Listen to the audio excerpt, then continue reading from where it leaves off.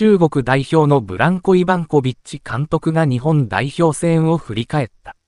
2026年北中米 W 杯アジア最終予選の第一節、日本代表 VS 中国代表が5日に開催。試合は12分に CK から遠藤航のヘディング弾で先制した日本が、前半追加タイムにも三笘薫のヘディングシュートで加点し、2対0で試合を折り返す。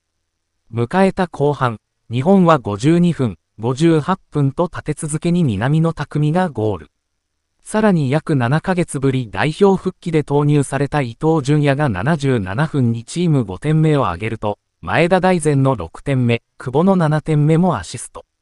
伊藤が1ゴール2アシストの活躍を見せた日本が大量7得点で最終予選白星スタートを決めた。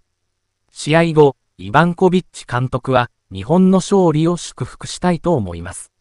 試合前に言った通り、日本は強く、非常にタフな試合になりました。日本はアジアでトップチーム。アジアだけではなく、ワールドクラスのチームです。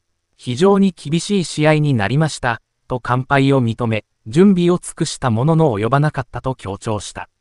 守備がうまくいっていないことは前半の最後にゴールを決められたところから分かりました。中盤のインテンシティを上げるために交代もしました。選手を多く入れ替えることで、インテンシティの高い試合を経験し、彼らが学んでくれることを祈りたいですね。日本がワールドクラスであることは言ってきた通りです。非常にタフな試合になることは覚悟していました。準備は尽くしてきたつもりですが、それでも強かった。個人のクオリティが高い選手が揃っていました。なお、中国はこの後、10日の第2節でサウジアラビア代表をホームに迎える。